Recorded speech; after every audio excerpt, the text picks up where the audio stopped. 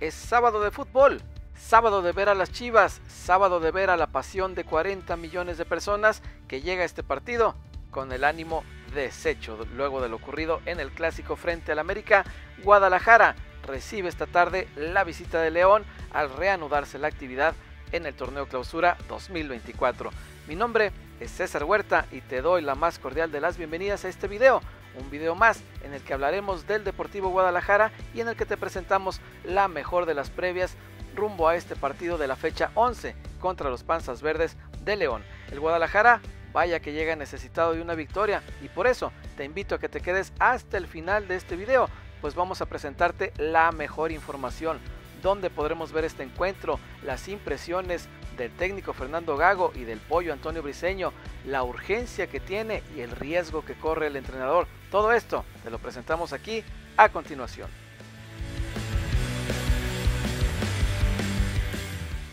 Primero que nada, evitemos todo tipo de confusión con el tema del horario. El partido entre Chivas y León por la fecha 11 del clausura 2024 se juega este sábado a las 5 de la tarde con 5 minutos, 17 horas y 5 minutos tiempo del centro de México, para que quienes viven en cualquier otra parte del mundo saquen sus cuentas. No es de noche, este partido se juega a las 5 de la tarde con 5 minutos. ¿Cómo vamos a poder verlo? ¿Cómo podemos sintonizar la señal de este encuentro? Aquí están las soluciones muy sencillas tanto para Estados Unidos como para México. Ojo que este duelo va a ser uno de esos que cuesta un poquito más sintonizarlo, pues no se transmite en señal abierta. Este va por televisión restringida. Para México por el canal Aficionados. Quienes tengan contratado este canal en su sistema de cable, ahí podrán ver el partido entre Chivas y León y también por la aplicación VIX Premium, que como ya sabemos es la aplicación propiedad de la empresa que está detrás de la América, propiedad de Televisa y por donde se pasa la mayoría de los partidos de nuestro torneo. Para Estados Unidos, para todos nuestros amigos de Estados Unidos, el partido de esta tarde va a través de la señal de Telemundo. Estas son las dos opciones legales, vaya, siempre existen otras alternativas, pero de forma legal para México, aficionados, el canal aficionados y también la aplicación de VIX Premium. Para Estados Unidos, a través de Telemundo, son las opciones que tenemos para ver el partido de esta tarde entre Chivas y el León.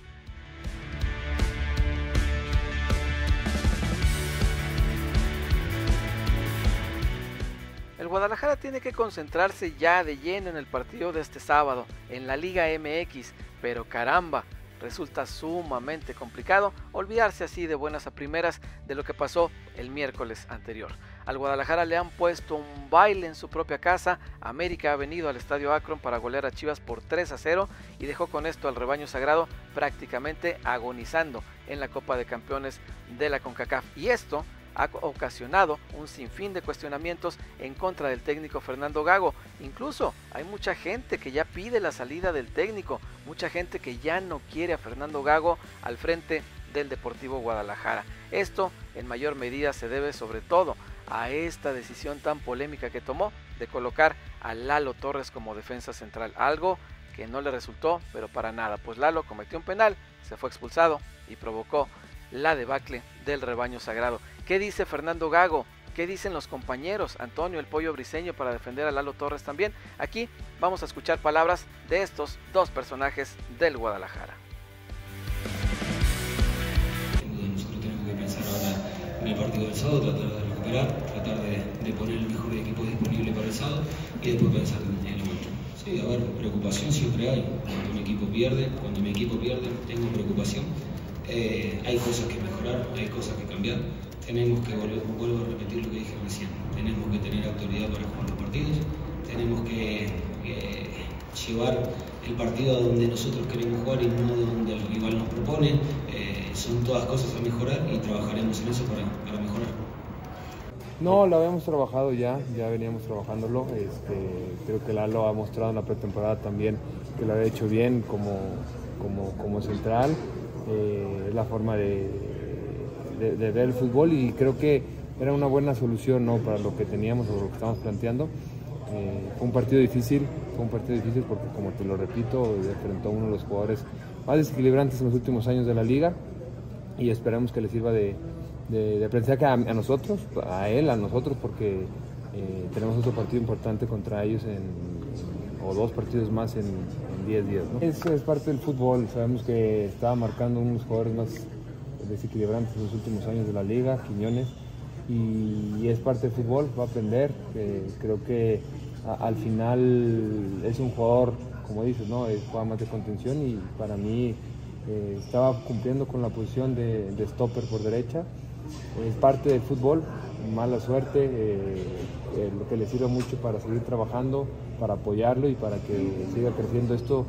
Es, es un partido más en su carrera y esperemos que, que se levante rápido porque al final tiene un carácter muy importante, es un tipo que, que no se eche para abajo, que siempre es resiliente y bueno, le va a servir mucho de aprendizaje.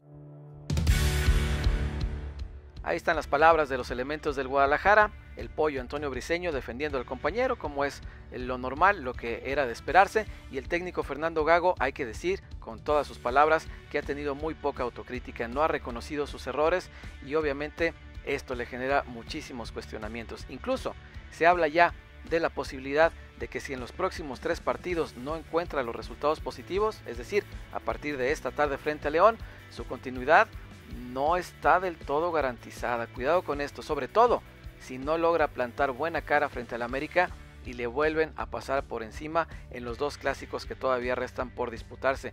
El miércoles en la vuelta de la Copa de Campeones de la CONCACAF y el próximo sábado nuevamente en la cancha del Estadio Akron, pero ahora por el torneo Clausura 2024. Ojo con esto, en los próximos días hay que tener mucha, pero mucha atención en el técnico Fernando Gago.